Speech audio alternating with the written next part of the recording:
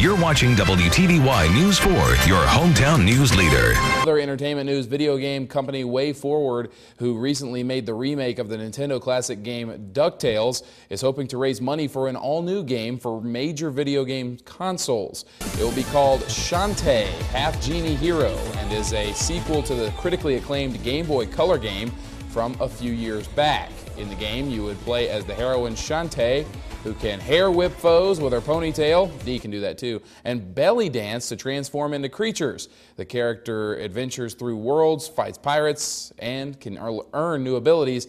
WayForward has a goal of $400,000 to reach to release the game, and with over two weeks to go, they have already raised over 300,000. Those who donate, depending on how much they pitch in, can receive perks ranging from the game itself when it's released to even being put in the game as a background character. Very cool. Way Forward was raising money for a game called Shantae Half Genie Hero. Well, on Monday, the company reached and passed its goal. That means that the game will be made. The goal of the company was $400,000. And thanks to more than 10,000 individuals who pitched in, they reached and passed the goal with more than a week to spare. The game will be coming out on PC and major video game consoles next year.